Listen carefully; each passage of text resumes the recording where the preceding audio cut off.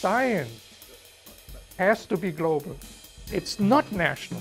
皆さんは日本の未来をどのように想像していますか？デジタルを使うことによって一人一人に寄り添えるんですよね。そして日本の未来に何を望んでいますか？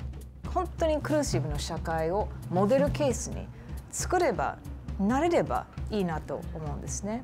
オイストトーク。ピーター・グルース学長が各界のリーダーの皆さんと日本の未来と科学の可能性についてディスカッションしてまいります。科学技術の力をしっかり使うということですよね。あなたが本当に夢を持っていればオイストでその夢を実現可能ですと。急速なスピード変化が起きている世の中に追いかけるためにスキルセットが必要ですね特にデジタルとか特にサイエンス系のところで。働きがいなんですよ。働きやすさじゃなくて働きがい。そのチャレンジ精神っていうかねそういうものが日本の中で不足してるんじゃないかなと。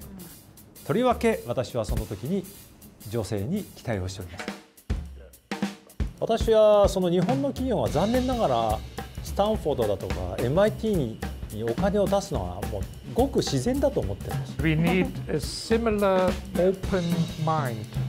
If we would work together, it would be of mutual benefit. But I'm fully convinced this is where science will go.